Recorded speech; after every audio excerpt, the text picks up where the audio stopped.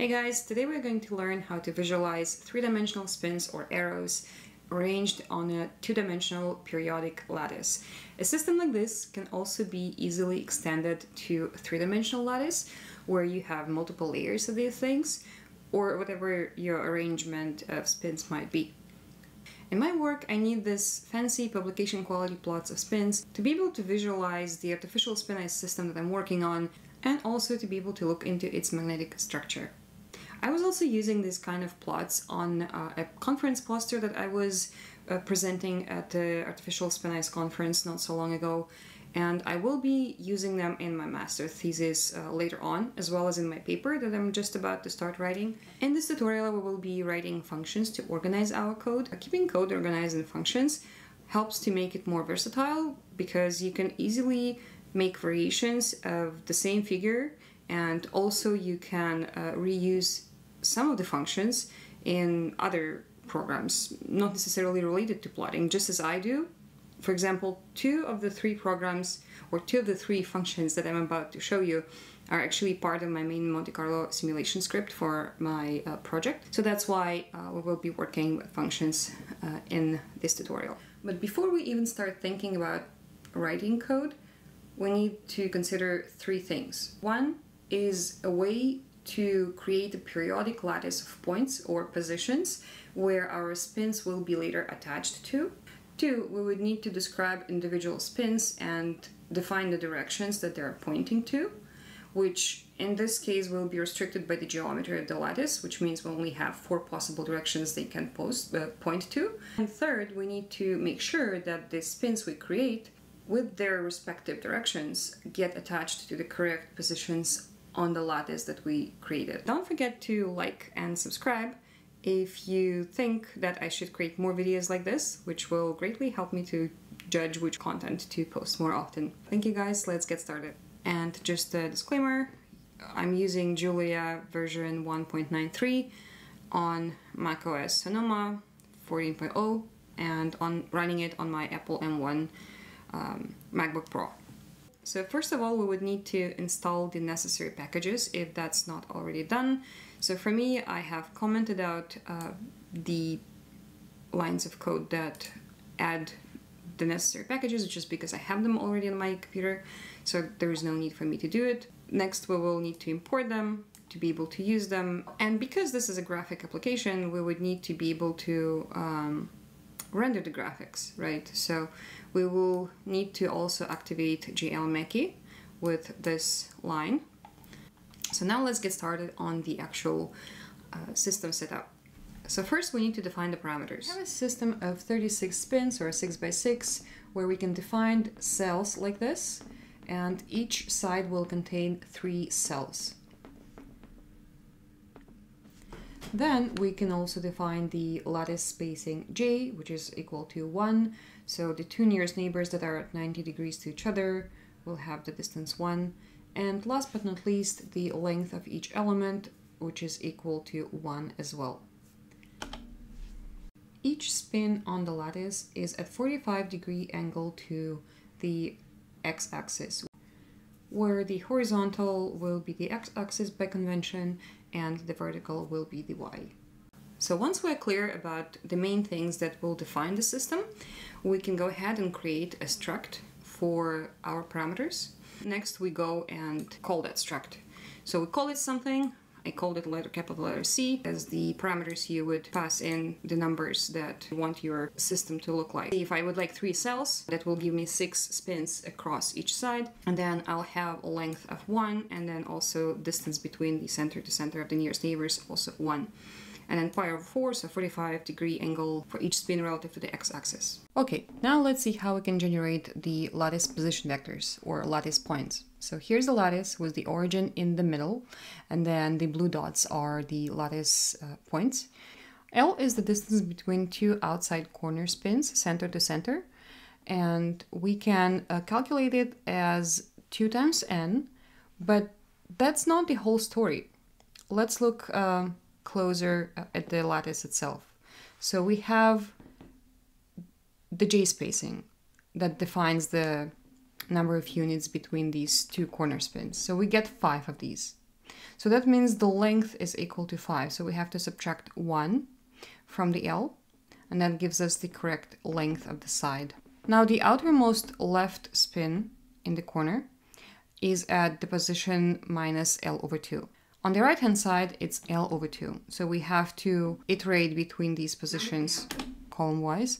And also by our convention, we go column wise too. Now that we have that, we can go ahead and write our functions. The first function will be to generate lattice points or the position vectors for each spin to get assigned to.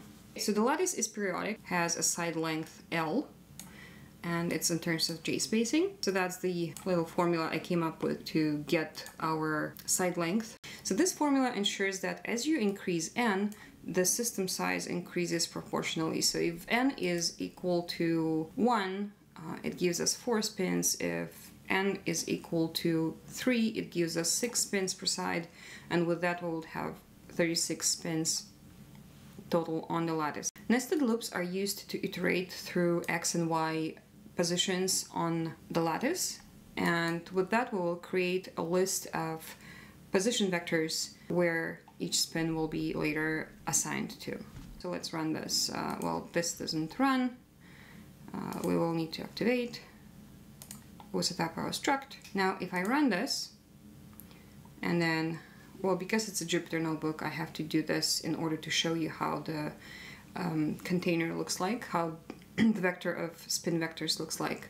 So if I run it, I create a vector of 36 elements where each vector inside of it is a position vector for each spin. Order of these vectors inside these lists is very important because later it will help us to be able to match the uh, spin direction vectors with these positions.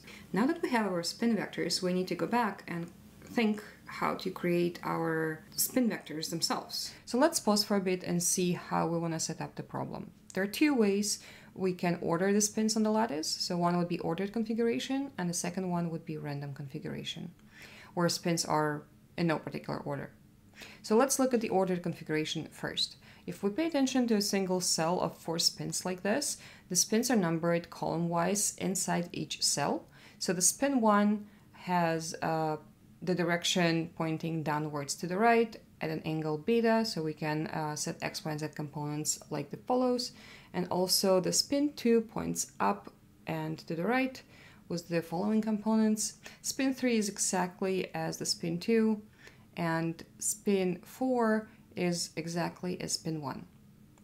Now we need to generate all spins on the lattice. So let's look at the columns. So there are two types of cells.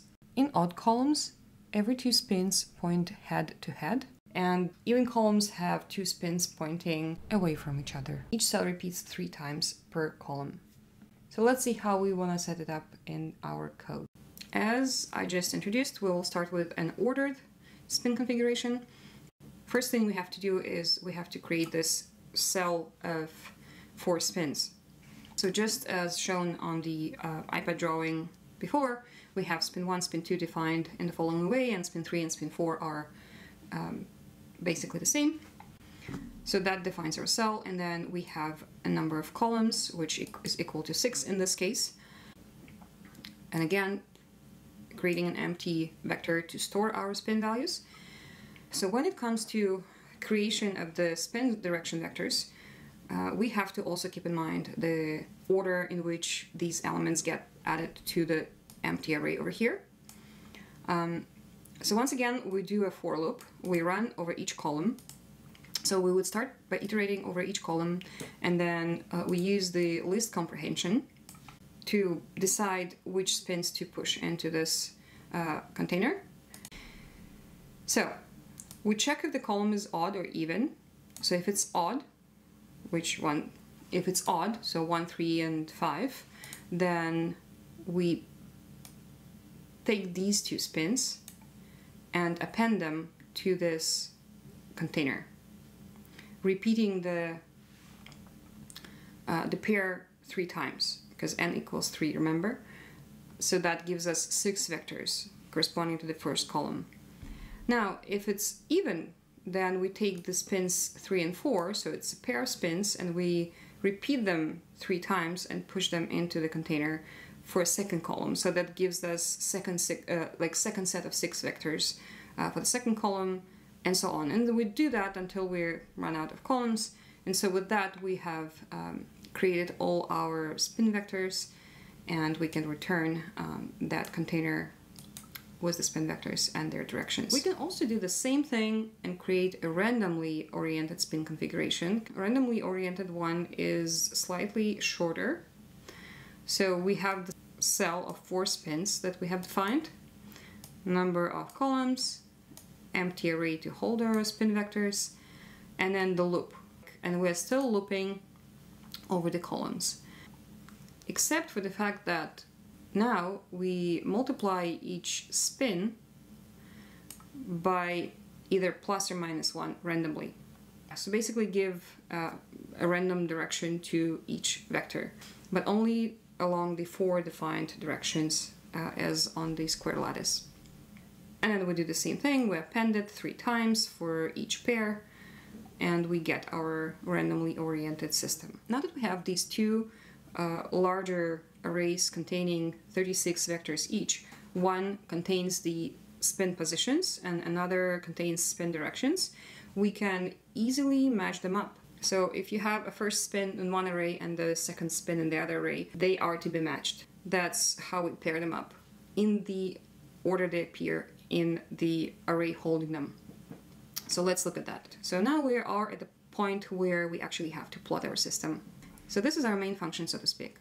So we import the parameter struct, then we call the function that generates spin position vectors, or the lattice points. Uh, next, we have to generate the spin vectors themselves, um, either ordered configuration or random configuration. Here I defined some of the constants, uh, which are like spins per side, um, or the total number of spins in the system. It will later come in very handy if I incorporate them in the um, file names for storing our pictures of the system. Um, I think that's the only place where I use these things. Now we have two arrays of vectors, position vectors and spin vectors.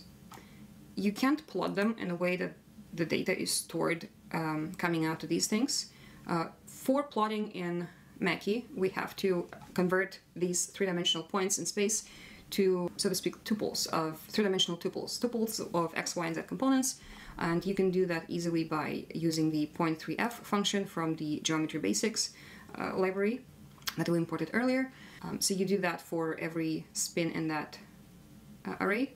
And then you do the same thing for the spin configuration vector. This vec3f function turns every spin vector into um, into tuple of x, y, and z components. Uh, but I also multiply it by 0.5 of the length of the vector, just because I don't want the vectors overlap. Like my vectors are supposed to be not touching when they're plotted, um, and if I don't do it, it doesn't work properly. The, the, the vectors will start overlapping. So now we converted our data to the format appropriate for plotting, and then we move on to create a figure. Um, my resolution is pretty high here because I really want the uh, spin vectors looking crisp and nice. Then I create an axis uh, where I have only one subplot, so it's one row, one column. If I wanted to have two subplots, um, I would say say here one or two, one and two, like one row, two columns, then I will have two snapshots. But in this case, it's just one one uh, figure. Um, aspect ratio, um, I make sure it has the it uses the data as the source for the aspect ratio because I want the system to look square and not rectangular. Um, and then the perspectiveness. This what gives your uh, system that nice look when you look at it, when at the plot. Um, the spins in front look larger and the spins at the back look slightly smaller and at an angle. So it provides perspective to the picture and the pictures look much nicer this way. And then this is what actually makes the arrows. Um, so the arrows function from the Makie library. Um, so you can import, um, so you call your axis, you um, call your positions and directions, uh, you define the color of your arrows or the lines that define the arrows uh, or the lines that like the outline of the arrows. I chose gray. Um, I also chose nice light gray color for the arrow heads. And the quality of the arrows themselves uh, is set with this line. 32 is pretty high, uh, and if your computer can handle it, it's great. Then it's going to give you very nice and clean and crisp arrows.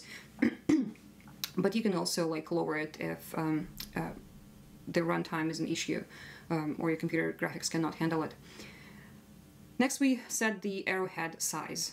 So this 0.3, 0.3 gives the how wide the arrowhead base is, and um, you have to give it the length of the arrow, but divided by two, because otherwise it will create very long arrowheads, and this won't look good.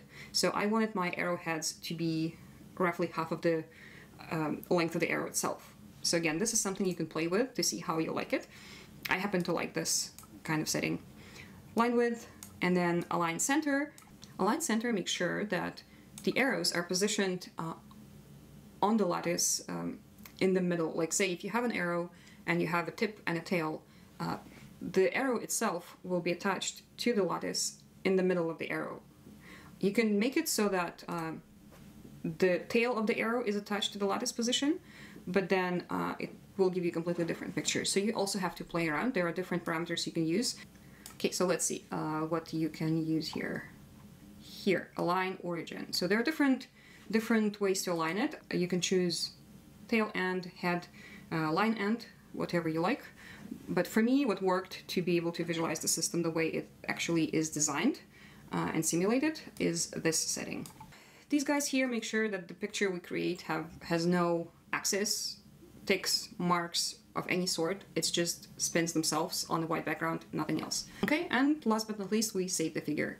Uh, you can use the comment, the function save to do that call it whatever you like. I reference the number of spins in the file name. I usually use the Jupyter Notebook to create uh, a prototype of the program. It helps me to like check for errors and everything. But once I actually like get it done correctly, I copy every cell here and put it in the Julia program, like in the Julia script with the .jl extension, um, and then run it like this. Uh, it's I just I just prefer it this way you copy every single function. Uh, I prefer to separate my functions by uh, a line like this for visual um, separation. So there's a slight difference how I write the main, main function though. So once I create the struct here, I don't immediately define it. Uh, it's just sitting there, waiting to be called inside the main function. And so here inside the main function, I call it then. These n, l, j, and beta parameters, this is something we can vary, right? And uh, when you when you call the plotting function at the end, uh, you can like just call the function, give it some numbers, and it will scale the system accordingly. So let's try and run it. For example, you can run it and create a very nice, cute, one-celled system, which will give you only four spins. So let's see. So that's what we've got.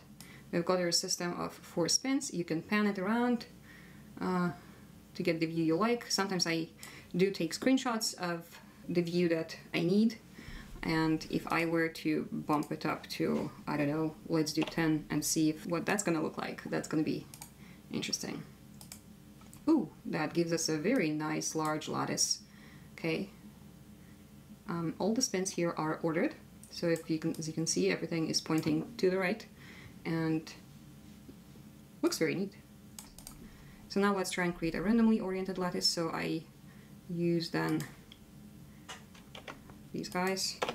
Okay, running over the mu hat here, mu hat rand, and uh, saving the appropriate one. Okay. Okay, so let's see. Well, indeed, as you can see, this gives us a completely randomized orientations um, in the spins. So now no longer are all of them pointing to the right. Okay, that's about it for the tutorial. I hope you liked it let me know and see you next time. Bye guys.